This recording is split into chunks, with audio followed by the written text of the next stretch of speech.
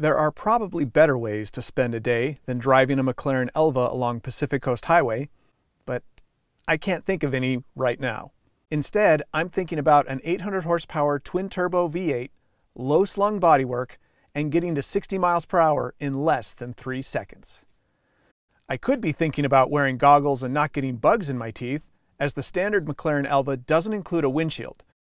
But this one does, though it still offers no side glass or roof. That could be problematic after the extra cold and rainy winter we've just had on the West Coast. But today, thankfully, we've got classic Southern California sunshine. Taking full advantage of the weather and location meant enjoying the topless McLaren Elva along the Pacific before heading into the canyons near Malibu.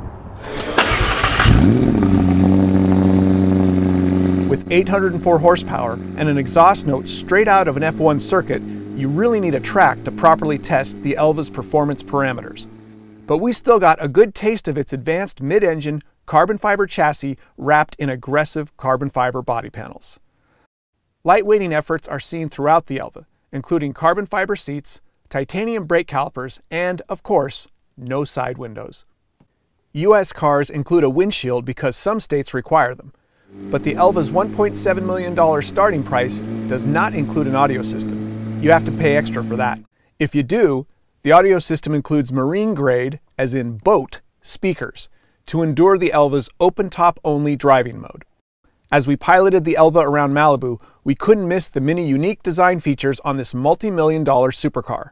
Whether it's the lack of exterior door handles, because you open the door using an interior pressure switch, or the low-mounted air vents to make them more effective in an always weather-exposed cabin, the Elva takes some getting used to. Rear visibility is often a challenge in mid-engine cars, but the twin arches that rise behind each seat mean you're totally depending on the rearview mirrors to know what's going on in back. Speaking of what's going on in back, in the Elva, there's no rear engine cover to open, so if you're hoping to see that 800 horsepower V8, you're out of luck. And the closest you get to a trunk is a tiny storage area underneath those rising arches. About enough room for a bowling ball, or, given the Elva's mission, a helmet. It's worth noting you also have to open this body panel to put fuel in the Elva, because, like exterior door handles, McLaren didn't want to clutter up the body with silly things like fuel doors. If the Elva's body is missing some common items, it's also a wash in others. For instance, most cars have one or two exhaust tips, while some have as many as four. The Elva has four, but they are located in two different areas and point in two different directions. The lower tips point in a conventional straight back direction, the other two point almost straight up, a rather unconventional direction. And below all of these exhaust pipes is probably the most aggressive carbon fiber rear splitter I've ever seen.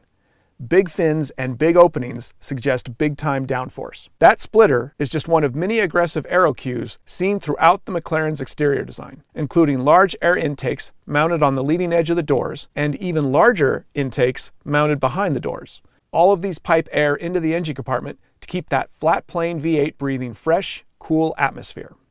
Eventually, I stopped marveling at the Elva's creative interior and exterior design features and started marveling at its driving dynamics.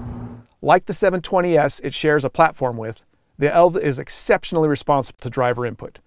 Turning the wheel causes a change in direction right now, and throttle or brake applications have the same instantaneous effect on velocity. The McLaren's dual clutch 7-speed transmission sends power to the 20-inch rear wheels, where sticky Pirelli P Zero tires claw at the pavement.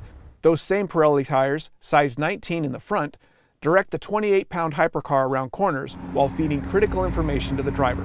Driving the McLaren Elva isn't the exercise in excess you might think it is. I mean, sure, it doesn't come with side windows or a roof or door handles or an exterior fuel filler nozzle or a windshield on most of them actually too. But when you're driving it, it's actually pretty manageable and pretty easy to live with.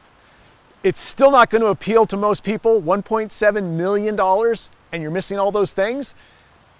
But McLaren's only going to make 149 of them. So it doesn't have to appeal to 99.9999% of the population. And there will still be more people on the planet who want one than exist. And you can include me in that group.